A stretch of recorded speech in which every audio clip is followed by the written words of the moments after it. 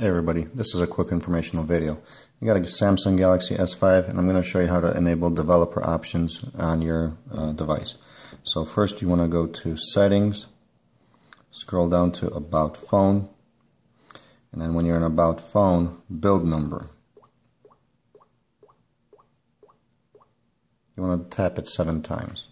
So now the developer mode has been turned on and see now you've got your developer options. So um, you also have USB debugging. So hope this helped. Thanks for watching.